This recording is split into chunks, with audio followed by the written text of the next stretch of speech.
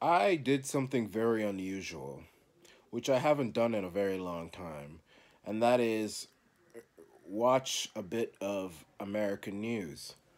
Um, and really, I just figured out, or I re remembered, why I rarely watch news from the States.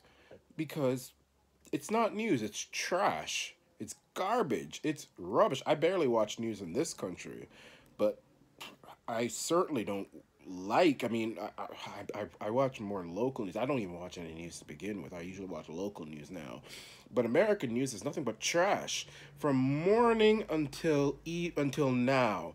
The only thing I've heard about is Stormy Daniels and porn stars and something about a, a yellow orange turd and all this garbage on American. And this is supposed and this is coming from CNN.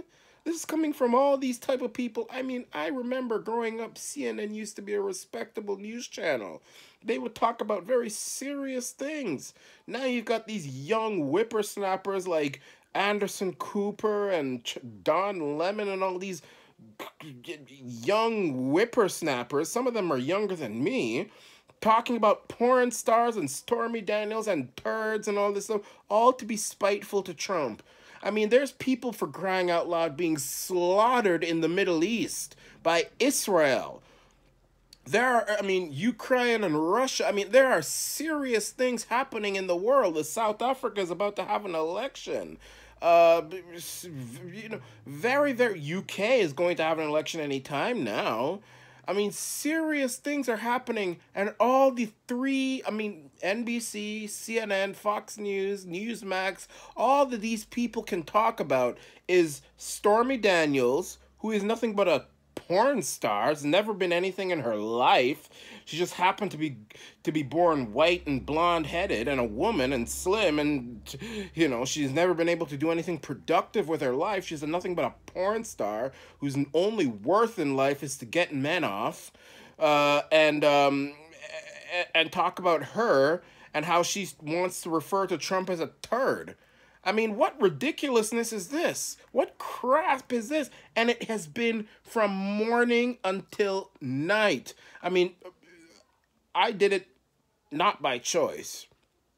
I had a day off today and I visited uh, my family, and you know, they're a little bit elderly, so they still watch television. They still have cable. There ain't no cable in my house uh, here, but uh, over there, they still rely on cable and landlines and they're there sitting watching CNN and NBC and all this stuff from morning, from the morning I arrived until I left. It was nothing but Stormy Daniels and her talking about how she wants to flush a turd down the toilet on CNN from morning to night. Not a word about Israel, not a word about the people being slaughtered, the women and children being slaughtered in apartment buildings and hospitals in Gaza, not a word about Ukraine, not a word about stuff that are going on with the economy, the interest rates that are staying the same, even though inflation numbers are going down and these banksters are making the interest rates stay the same and all that.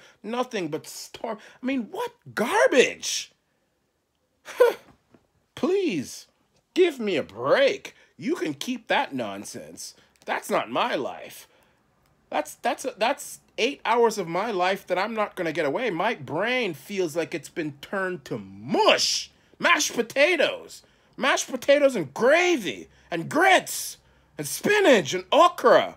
Good gracious, man. If I ever hear about Stormy Daniels and turds and flushing turds and poo down toilets and all this stuff, all to humiliate Trump. That's all CNN is there to do, is to humiliate Trump. I mean, good gracious! This is the Nation.